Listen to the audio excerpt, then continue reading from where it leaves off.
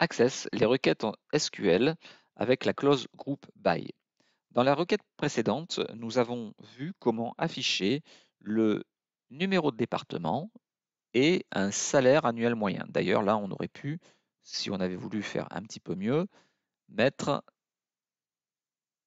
un libellé, c'est-à-dire as salaire annuel moyen. Salaire annuel moyen hors direction. Et on referme les crochets. Si j'affiche,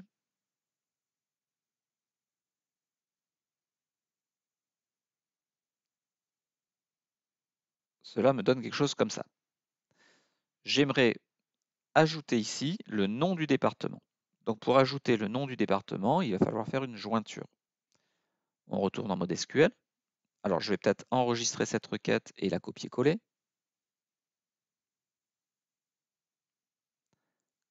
Copier, coller. On va l'appeler R underscore GB04 et on va la modifier. Donc double-clic pour l'ouvrir, affichage mode SQL. Et là, ce que je voudrais, c'est rajouter le nom du département. Donc, on va rajouter un nom DEP, numéro de département, virgule, nom DEP, virgule, AVG Sala. Nom DEP, ça se trouve dans la table département. Donc, il va falloir que je fasse T employé inner join T underscore département.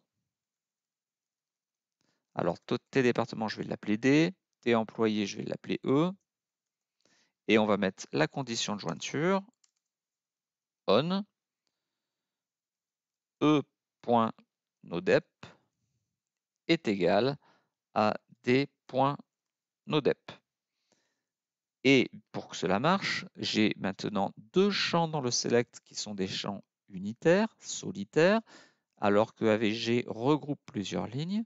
Il va donc falloir que je fasse un groupe by nodep. Attention, avant le point virgule, il faut rajouter virgule non-dep.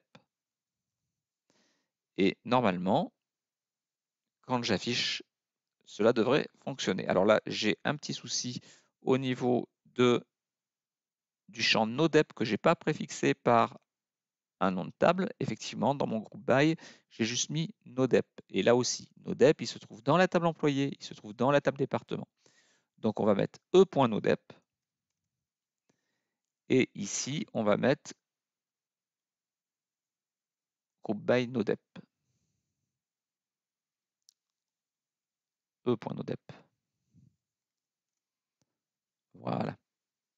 Et là, cette fois-ci, ça marche. 10 formations, 10 000, 20 ingénierie, etc.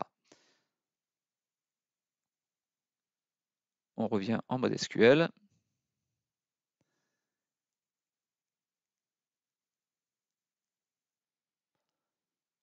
Voilà donc pour moi RGB 04.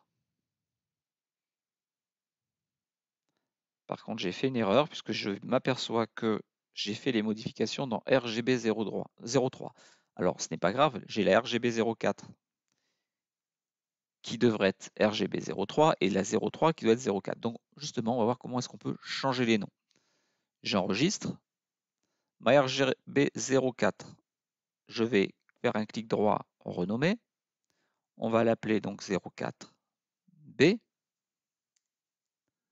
Ma 03, maintenant, je peux la renommer en 04. Et ma 04B, je vais à nouveau la renommer en 03. Ce qui fait que maintenant, lorsque je double-clique, j'ai bien ma 03 avec les numéros de département et le salaire annuel moyen. Et ma 04 est une version améliorée où j'ai le numéro de département, le nom du département et le salaire annuel moyen hors direction. Voilà, j'espère que cette vidéo vous aura plu. Si c'est le cas, n'hésitez pas à la liker et surtout à vous abonner à la chaîne.